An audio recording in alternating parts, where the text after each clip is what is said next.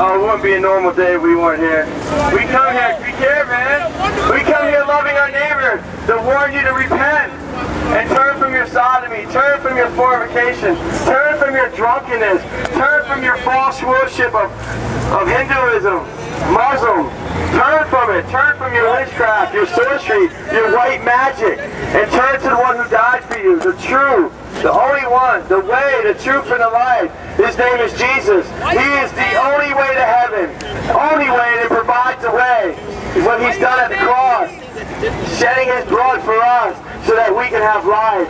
Nobody else did that for you. Muhammad didn't die on the cross. Buddha didn't die on the cross. Allah didn't die on the cross. Mary didn't die on the cross. You guys pray rosary beads. Come on. It's repetitious praying. Jesus didn't warn about that. But turn. Turn to the one who took the punishment for you. The one who made atonement for you. We're preaching, man. laid We're his preaching. life down for you and me. That you can have life. That you don't have to perish in your sin and go to hell forever with no way out. Jesus Christ provided that for us. He laid his life down for you and me so you can have life. So it's time to wake up. It's time to wake up, liars. It's time to wake up, drunkards. It's time to wake up, greedy people. It's time to wake up, selfish people, prideful people. It's time to wake up, homosexuals. It's time to wake up and realize you can be on the highway to hell forever. Once you're there, that's it. Once you are there, that's it. But you can repent and be an ex-homosexual. You can repent and be an ex-junker, an ex, an ex-pervert. You can be you cannot be an ex. You can be an ex worshiping false gods like Muhammad and Buddha. Worship the true God, the only way, the truth, and the life. The only mediator between man and God, Jesus Christ. All other ways lead to hell. Only through Jesus Christ you can be set free.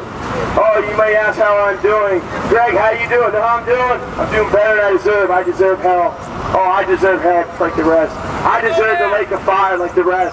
But you can repent of your sins. You can turn to God and have life. Women don't have to dress unmodest no more through the power of God. Men don't have to get drunk or women don't have to get drunk no more through the power of God. But the thing is you have the power of Satan in you right now. The power of demons. The power of drugs. The power of sex outside of man. That's what you got in you when you don't live for God. Oh, when you dress unmodest, you're not living for God. You hate God. When you get drunk, you don't love God. You hate God. When you're prejudiced, you hate God. That's the problem. You hate God when you live in sin. But you can repent and start to love God through what Jesus Christ did at the cross. Put your faith and hope in Him. And He can change you. Faith equals righteousness. Turn to Him today. Me tell you, you can die today like Michael Jackson. You can die. And what are you going to do? It'll be too late. Whatever you sow down here, you reap up there. If you didn't repent down here and trust in Jesus Christ, you're in big trouble. You're in big trouble before God. So I want you to come out and cry out to God and repent and believe. So God is infinitely forgiving, right? He's infinitely forgiving God. If you want, if you want the forgiveness, you have to draw near to God. What's your question?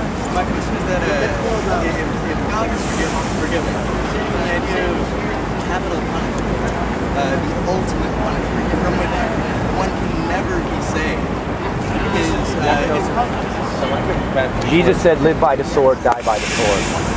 okay. But, but what I'm saying is that that idea damnation I heard um, we have a real firebrand uh, Firebrand, what's that?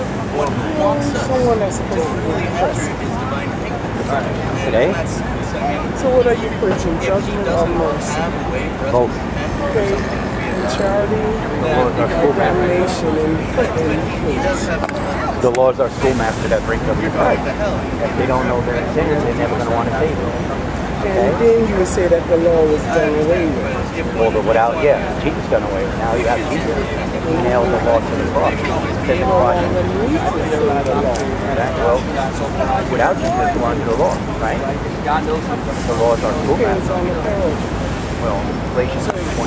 The law of to Christ. It's also showing people you know. But some don't because it's not their. And people, like if I talk to people that say, I'm a good person, you're a good person, you're a license, you're a liar. So, That's what Jesus becomes well, that liar. It makes no sense asking you because I already know you know that part of the truth.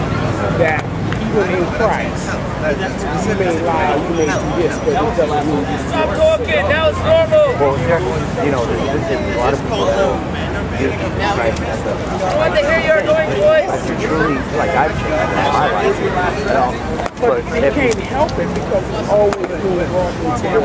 I mean, you're not A lot be, of times- you're not gonna be perfect, yeah. A lot of times, even when I was into church, I would go there, worship, wouldn't even be thinking about sin or sex. And then when they get there and they start talking about it now, for the next week it's constantly. You know, He wants to know about hell and, and sin. We all have an opportunity to repent of our sins. I believe we each have an opportunity to turn to the God of the Bible before it's too late. Because God wished that none perish, but all come to repentance. He is Son and Son in the world to condemn the world, but that they may be saved through him. But also those who do not believe, they're condemned. when you become a The cross of is God, foolishness, those who are perishing. But it can be the power of God to those who believe.